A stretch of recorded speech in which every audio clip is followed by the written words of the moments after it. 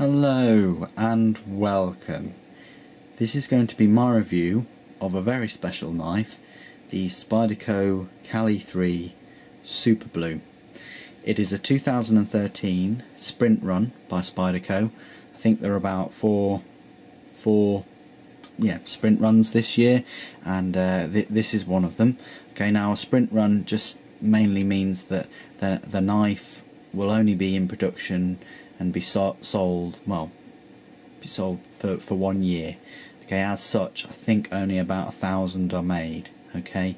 So you're looking at a, a limited number one of a thousand really okay across the world.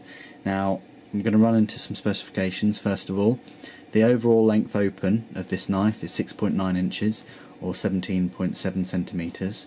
The blade length is 3 inches or 7.8 centimeters and the cutting edge length is 2.6 inches or 6.8 centimeters and the weight is 3 ounces or 87.6 grams. Okay now this uh, specific uh, model the as you can see here Caly 3 Super Blue uh, it features Aogami Super Blue steel. Okay now the steel as it says there, super blue. The steel is produced by Hitachi Metals at their plant uh, in their Shimane or Shimane, Shimane um, prefecture in Japan. Okay, and basically the the foundry uses uh, high quality iron sa sand found exclusively in that re region of Japan. Okay, and it creates different grades of steels. They, they, they're called white steels and blue steels, okay? Um, the colours don't actually refer to the, the colours of the steels, um, but rather the colour of the paper that the raw steel comes wrapped in when it's delivered, okay? Um, now, white and blue paper, that's all well and good, but my Caly 3 Super Blue came wrapped in brown paper, so it must mean the actual steel itself, not not the knife. Okay, um, Super Blue is the highest grade Aogami blue steel and contains up to 1.5% carbon to enhance its long-lasting wearability and chrome to elevate its hardness and corrosion resistance. Okay, so it does have a fair amount of carbon in it. Okay, now um, some say some say uh, it's very similar to uh, another super steel, high grade steel, which is uh, ZDP 189. Okay, um, it it doesn't have as much carbon as ZDP 189, um, but it does have more tungsten. Okay, which creates adds strength to it. Okay, and that also means that because it doesn't have as much carbon, but it's as strong, you may say, um, it means it's easier to sharpen. So it, it's very technical with steel elements and things, but basically it is ZD Super Steel ZDP 189, but easy to to sharpen. Okay, um, the edge retention is incredible.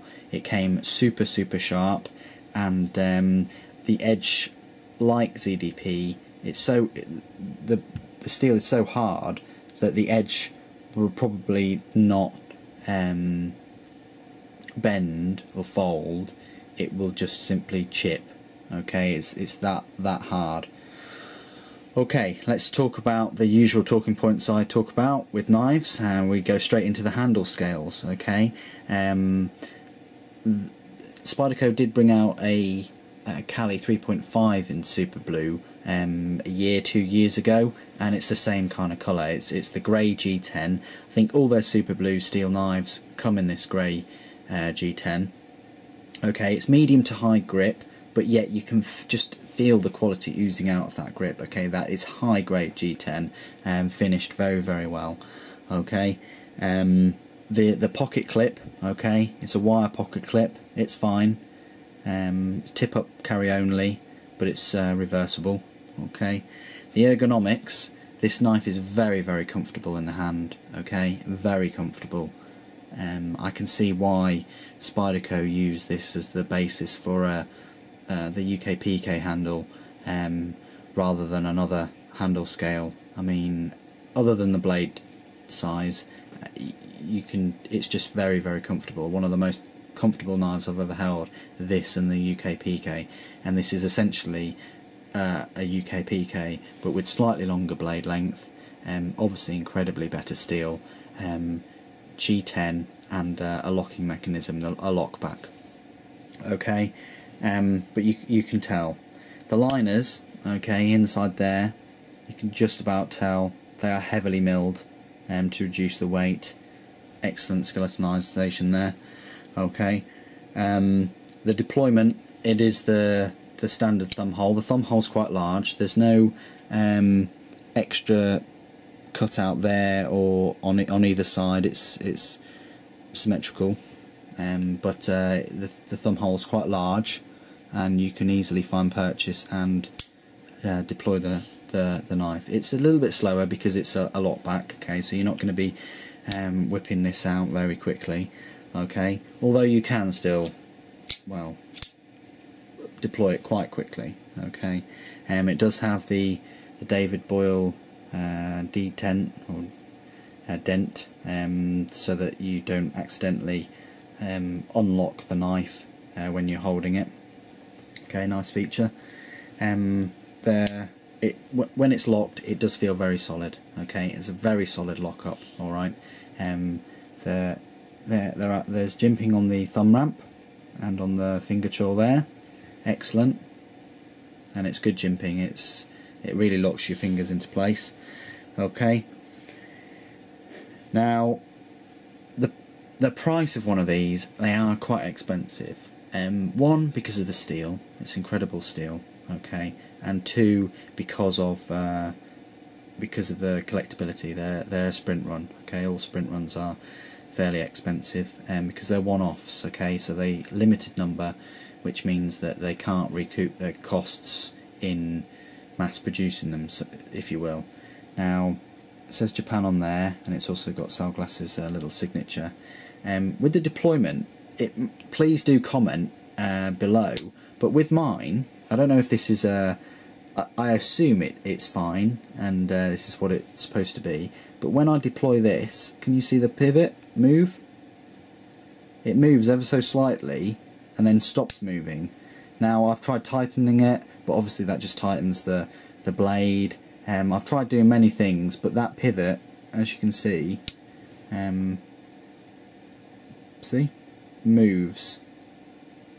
It moves when, when it's open, then it stops, and then again it moves back to where it was. Um, that might just be the design of it. I've never had a Caly 3 before. All Caly 3s might might be the same, but but there we go. Okay, I'm going to do some size comparisons. Okay, uh, obviously with the Spyderco UK PK, look at that. Look at that. The handle scale. Now, for me, I think that the scale is, is slightly longer on the, the, the Caly 3.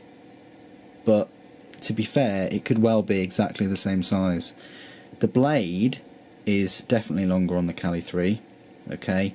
But it's just that shape, it's the curve along the spine of the, the handle and it's it's the finger choil and these uh, scalloped parts of the, the handle that make it so damn comfortable.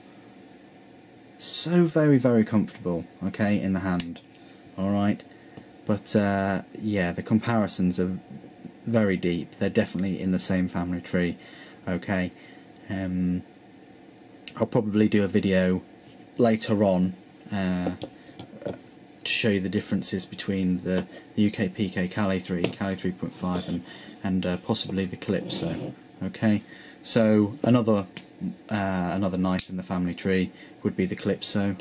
There she is, uh, huge, but the same kind of um, scale. And for people that don't have a, a UK PK or a Calypso, um, or a 3.5 or a Caly, uh, here's a Spyderco Tenacious, just to show you the the size differences um, and the refinement of uh, an excellent blade shape and uh, contoured handle okay? So that's a little size comparison there for you okay? So yeah going back to the price one of these will set you back about 145 pounds. They're not cheap. They're quite expensive, but that's because of the steel, because of the the workmanship, um, and because it's a sprint run as well. Okay, uh, but I think it's an excellent, excellent knife. Okay, probably the ultimate uh, gentleman's pocket knife, I would say.